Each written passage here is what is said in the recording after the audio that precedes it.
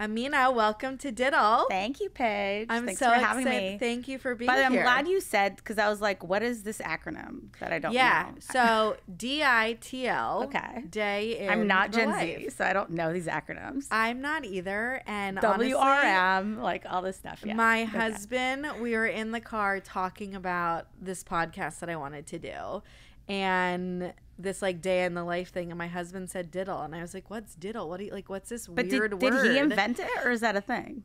I don't know. I mean, I think he invented, at least for me, and what I'm going to go with here on the Okay. podcast is that he, to me, put like day in the life into an acronym where I hadn't really seen diddle anywhere before, and now I feel like I'm seeing it more. You're gonna have to So- ask him if he like just like said that, Yeah. or he's like secretly like scrolling through like Gen Z like TikTok Yeah. things, and it's like a big thing, and he No. just discovered it through him. I'll report back to you. Um, so on Diddle, we always start at the beginning of your day Okay. and um, tell us about your morning and how your day starts. So the beginning, I'm glad we're starting there because it's actually my favorite part of the day. And I'm probably going to have a really disappointing answer because I think a lot of a lot of like routine and morning questions to CEOs or allegedly high functioning people like you expect to be given like the secret to like how do you do it all and like how do you do it? And like the secret is like I don't. And uh I found that you know for me the mornings are actually about getting what's more most important to me out of the way.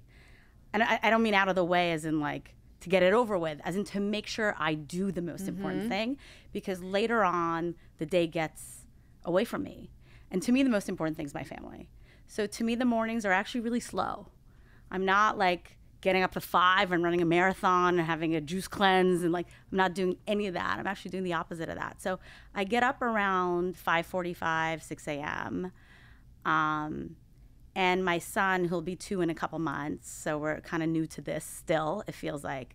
Um, he gets up around about an hour after that. Okay.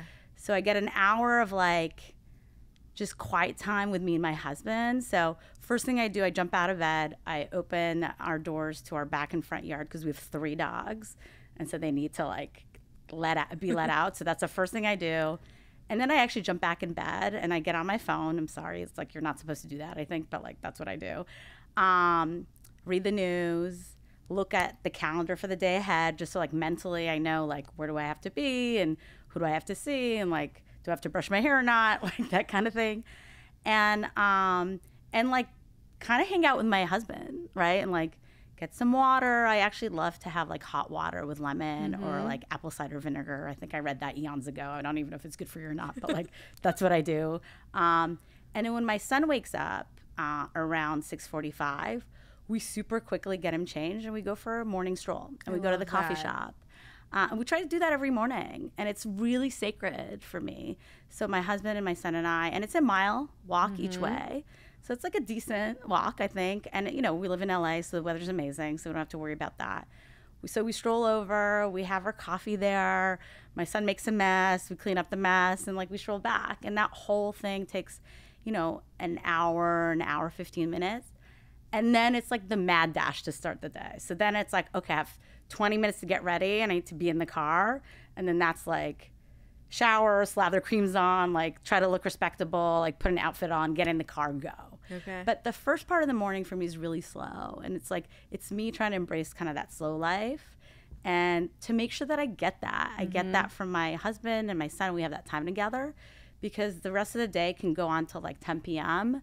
And I don't want, I want to make sure that we have that sacred time together. Yeah, I think that that's such an incredible way to look at it and to also start your day. I'm um, a mom as well. I have two kids, and yeah, it's like that that morning connection is so special. And I think it's also like I have an almost four year old and an almost one year old, and like the look on your kids' faces when they wake up and how excited they are. You know, I think about like as I've gotten older and like sometimes in the morning I wake up and I'm like not in the best mood and then I see my kids' faces and every time Yeah. it's like they're seeing you for the first time Yeah.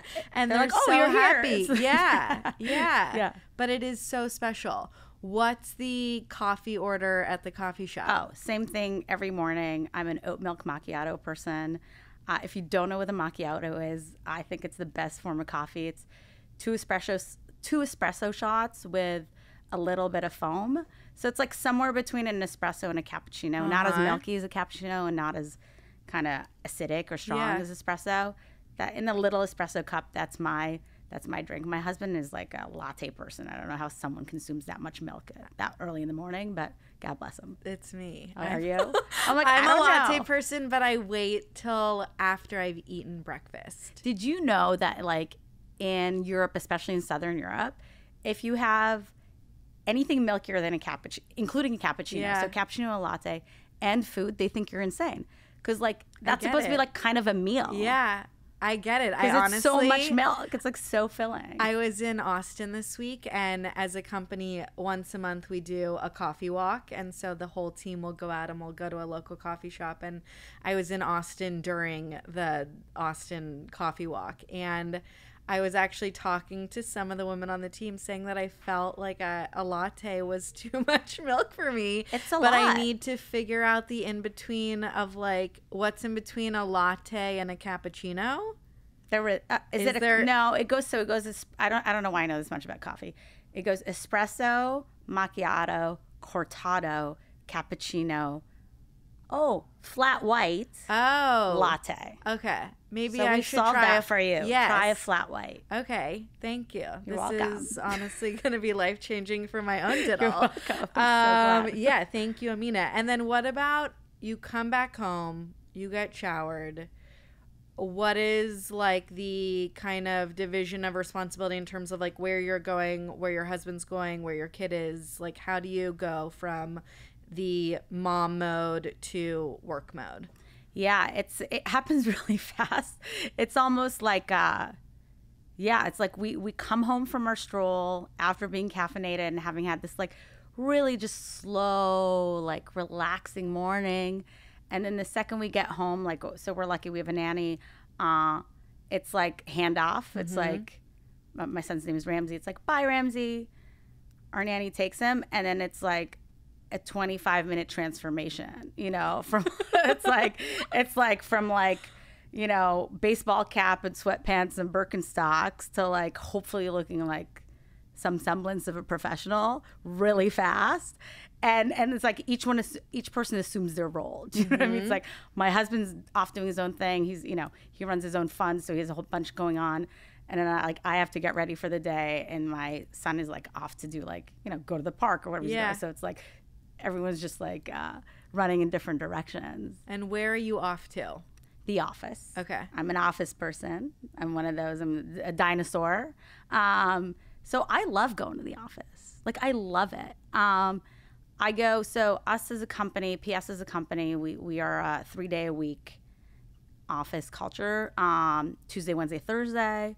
Uh, for those of us that work at the corporate office, because obviously we have a lot of uh, on-site employees. Um, they're you know they're they're on different shifts depending on on the day. But um, for the corporate team, which is about you know 40 or so people, we're Tuesday, Wednesday, Thursday is for everyone to be together. But I go Monday to Friday. I just love going to the office. There's so much clarity, and for me, that division of kind of this. Um, almost like you know double life I lead Yeah. is good, right? Of like let's transform and let's go to the office and then focus on that, and that's what I'm doing. I'm not a parent, I'm not a wife in this moment. I mean, obviously you're always that, but that's not the primary role. Now you're a CEO, you know. Yeah, it was so funny. I was on actually a call earlier.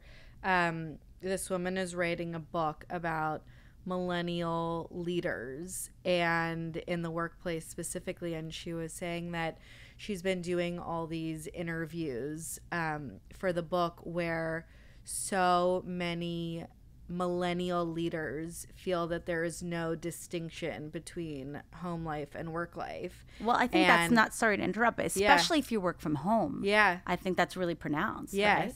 And I was saying that for myself, that I found since having kids, that there is a hundred percent a distinction of Oh, like showing up to work as Paige Port, you know, president of Dear Media, Mm-hmm. and as a colleague and team member, you know, to 50 people. And then when I go home, it's I walk in that door and I'm not on the phone. And uh, yes, I of course pick up my phone and I'm doing emails during bath time. And I, but I really try not to be, you know, like I really try to put the mom, wife, you know, daughter hat on. Yeah. Um, and, and separate the two when I can. Yeah, for me, it's I, I totally agree with you. For me, it's like a costume change, Yeah. right? And my husband teases me. He's like, he's like, you have a different voice when you're working. So maybe it's more than just a costume change. Maybe it's like this completely different alter ego. I don't know. I get Obviously, it. but like that distinction, I think is is really for me is really helpful because I can be present and all in in whatever I'm doing. Mm-hmm. Like just like in the morning when I'm with my son and my husband, I'm not thinking about work. I'm not checking my emails. I'm not on my phone. I'm just in that moment. Right. And then when I go to work, I'm in that moment. Right. You're present for what you Mm-hmm. need to be doing. Yeah. I always like laugh to myself and think that if I ran into any of my employees or like at Like the on the farmer's weekend? market on Sunday, Oh my god! and they would be like, "Oh my god, did she even brush her hair this Oh my morning?" God, that's Like- totally me. I always think that. I'm like, if I run into uh, uh, a team member or a client, Yeah.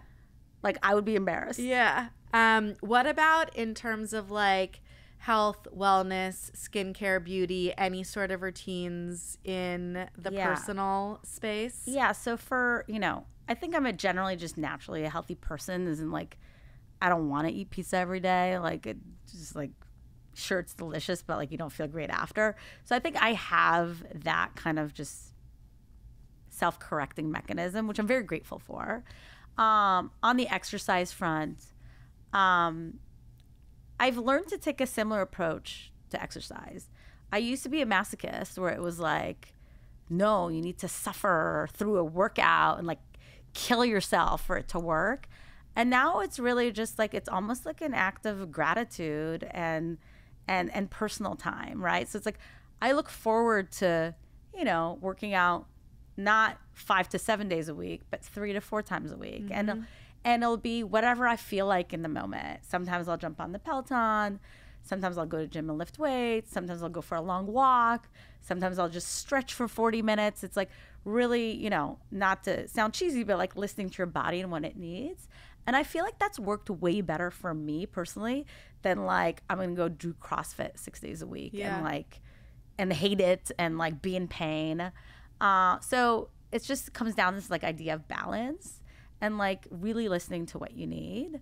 Um, that's on the health and wellness front. Um, Is there a time of day that you like to work out? so in that morning before my son w- wakes up, I will do it if I feel like that's what I feel like doing. So it's like it's never planned. I'm not like I need to work out Tuesday and Wednesday and Thursday. It's like I'll work out this week when I feel like it and and it ends up happening like 3ish times a week. The weekends are usually when I do most of my working out just cuz it's more leisurely. There's less of a time crunch.